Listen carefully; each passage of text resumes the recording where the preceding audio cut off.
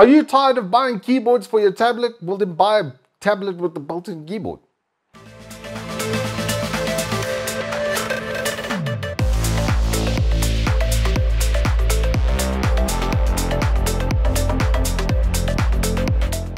Good afternoon and welcome to Turbo Tortoise Tech. If you're new here, I'm Reese of the 4-piece variety of Walkie Triple XL.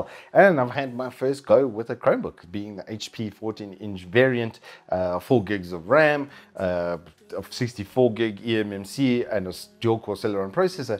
Didn't shout at me that it was going to be a good experience, but this is honestly one of the best multimedia companions I've ever had, and with some absolutely ridiculous battery life and charge rate. Because those components are so much smaller, they run that much more efficiently. And then with some Chrome OS magic thrown on top, you get pretty much the best working battery life you will find I, I, think around in general, and especially at this price point. At this price point, I can, I will, I will almost put my reputation, what's left of it, on the line against this thing's battery life. That's how good it is. But before we get too carried away, let's first go through what's in the box. Well, you get this really cool 45 watt adapter. Why is it really cool and not just a normal adapter?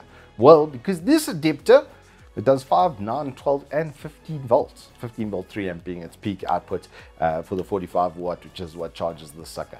But if you're paying attention, I said 5 volt as well. So you can connect this type C into your phone. So it's a phone charger and your laptop charger all in one. Because you will barely be using it to charge your laptop, then it's like having a built-in phone charger with you on the way, which I really like. I especially like that it's got a Clover plug as well. These are a dozen. You can find them pretty much at any IT store across South Africa. So if you do lose this piece, at least not your adapter, you're not up the creek, at least. Then we have the laptop itself absolutely gorgeous looking on the back. I love this blue that HP has employed. I think it looks absolutely sick on the back. Really nice Chromebook uh, uh, in the top left over there. So you know exactly what it is uh, at first glance. You don't have to guess if that's a normal laptop or like a Windows machine, etc. It's definitely a Chromebook. Moving around the front, you've got a normal 720p webcam, which works pretty well. I tested it on Skype and it looked pretty decent. It does get overwhelmed though if there is too much light. So just be careful of that. If you sitting in direct sunlight or something, you might just disappear like uh, get right in front of a flashback. It does have two pinhole microphones up top as well, so you don't need a headset for it, but you can connect one into it. Speakers over here alongside the keyboard. The keyboard itself is in a QWERTY layout. Top row is dedicated to special functions that you would need for Chrome operating stuff and for Droid operating stuff because Play Store is a big thing here and a lot of your app access does come through the Play Store. Um, a lot of the apps then run in like tablet mode and you can switch between the screen sizes and do back and forward and uh, uh, even go back in menus from the keyboard itself. So you've still got that Droid kind of touchscreen functionality because it's doing Chrome OS with Droid basically plugged into it is the best way I could describe that. Then you get to the touchpad, which is down the bottom of the keyboard, which is absolutely massive. Really big appreciation for that.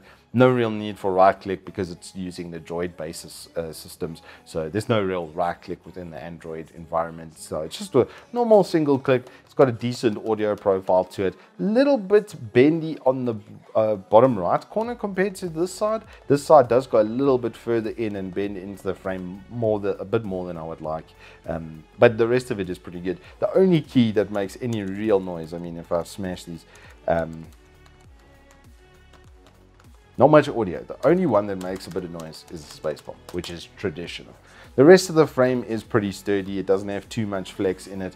The monitor lift, the, the lid, lift, lid lift, there we go. The lid lift test, where you check from one corner to make sure that the frame stays uniform so that if, if, you are doing this a lot that it doesn't warp and bend the screen and the screen's not going to crack but in general please guys just lift from the middle of the laptop like that that's kind of what it's supposed to do this thing has an incredibly strong hinge Exhibit A can basically pick itself up. Um, it does go almost flat as well, which is really important because this is where we get to the physical sort of, not defects, but changes I would like to see.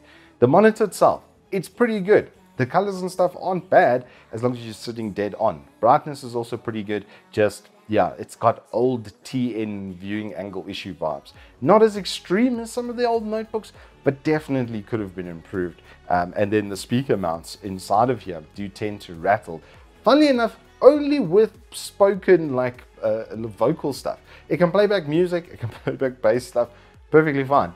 But as soon as I put on someone speaking with a sort of wide range mic like what I've got over here, or any other sort of, you know, permanent sort of YouTuber, someone that's generally working with wide range microphones and stuff, it does tend to rattle in the side of the notebook. But that's it. Are the only sort of physical things that I noticed that I didn't um, really like inherently like. I love this plastic brushed uh, plastic bottom though because it's going to be very resistant to scratches. It's got nice rubberizing on top and the bottom, basically the entire way across. So it's not going to move around on the desk or do anything weird like that. So in general, for a five grand notebook, the build quality is pretty damn good. And I mean, look at how thin that is.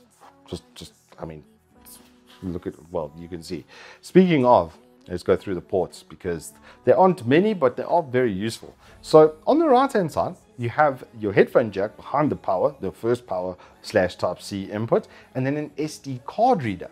Because you can see where the mind is a little bit with this notebook. And then you have on the right hand side, you've got another type C slash charging input, and then a type A USB. So the idea with this is, is to be a little bit of a multimedia companion is what I sort of assumed. And then I had a look around at some of the material and stuff on this notebook after having used it to make sure I sort of checked everything out. And it was exactly as I presumed. With that card reader and with the Type A on the other side, you can then capture a lot of stuff directly to your Chromebook. And then from the Chromebook, it's linked to your Google Drive. So yeah, 64 gig eMMC, it's not a lot, but five gigs worth of pictures, you could easily store it on the book and then as soon as you get on Wi-Fi you can easily sync it with your with your uh, drive so 29 rand a month gets you 200 gig drive so it's not a huge expense per year to have permanent cloud storage and you can get up to like 2 TB I believe on the Google Drive. So yeah there's, pl there's plenty of storage space. Now the thing with this OS and with the software is it really has been built around the Google App Suite. So you've got a built-in YouTube player, which is really, really nice, works absolutely flawlessly. It's basically the same as what you'd experience on most mobile platforms. You've got your Play Store over there, you've got your Google Meets as well, and then you've got your Google App Suite. So your, you know, Google Sheets and even spreadsheets and stuff like that, your doc processing and and your PowerPoint sort of processing, etc. You've got your full uh, presentation suite, etc. In all of that is accessible. That's the idea is to make that as accessible as possible. This is a web app running type of system with a small amount of local storage, which you can actually work in ways that you maybe wouldn't be expecting. So I managed earlier to download uh, one of the videos uh, uh, that I made for myself in Latches, which I actually have right here on the start bar on the bottom right over here, which I can then literally just double click and it will start playing back the video like just like that with its built-in players. You can put in VLC obviously from the Play Store. Anything on the Play Store is accessible as well. And it will either run in a phone type orientation or a tablet type orientation. You can full screen some apps. There is some compatibility issues, obviously, with doing that and changing the resolution where the buttons and stuff would line up. But like I said, you can either run it in tablet or in phone mode. And in tablet mode, for the most part, it runs in a window like this. So you're going to use about 80% of the screen to run those applications. Then because it's got Play Store access, you can do a whole bunch of cool things like get PS emulators even, Game Boy emulators, etc. So you're not just locked into the platform from a perspective of I can only use the Droid applications themselves um, or, or games that are available. I could then put on like an emulator, use the USB, put the drives onto, put those ROMs onto the local storage, and then play from an emulation on the station.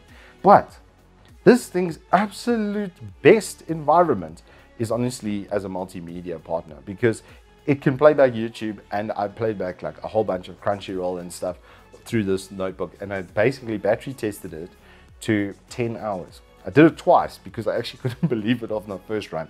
With Wi-Fi going, with it streaming, just doing its thing, 10 hours. Worth of streaming playback. So it's using Wi-Fi as well as video to get that.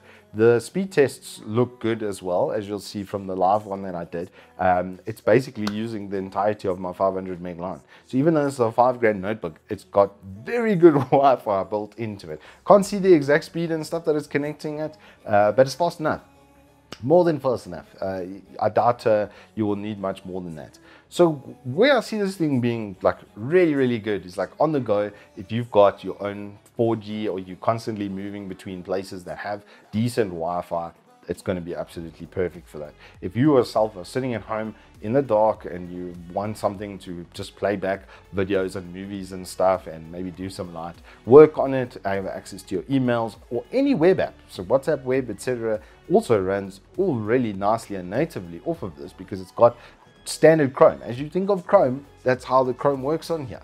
So any web-based app can run basically from the notebook absolutely flawlessly, especially because of how efficient this Chrome OS is. It's like I said, it's got almost no resources, but it feels completely fluid. It's like it's like a tablet on steroids. It's the best way I could sum it up to you. This is taking the Android tablet and just dialing everything up to 11, building in some of the you know native Google apps into the experience, and just making it really fluid while doing it. So I think they've done an exceptional job. Um, the only thing for me at this, the only like I think deal breaker for me, I, I, even is a strong word, but the monitor on here really is like letting down the team. The rest of it does feel just a little bit better than the panel that they put in here, but they are trying to keep the costs down, which I understand to get to the price point and stuff. They've still done an incredibly good job. They've made a very attractive, very lightweight device that you can just take with you on the go and like basically never have to charge. And when you do, it goes from zero to 80% in an hour. in an hour. Full charge is like an hour and 30 minutes because it's got to slow down at the top of the cell to make sure it doesn't overvolt it um, and overcharge it and then ruin the battery. So, phew, they've, yeah, I, I like this. I like this a lot. I'm actually genuinely considering getting one just like this for myself, just for while I'm out and about and on the go, so that I have something that is literally like, it's like carrying a stack of papers. It's so light. I can make it airborne and catch it like absolutely perfectly like that. Like that's how light this notebook is. Anywho, that is all I have for you on the HP Chromebook. If you have enjoyed this review, please do hit us up with a like and subscribe. And I will see you on the flip side. My sight gets blurry, pushing back the tears. Should take a leap of faith and faith.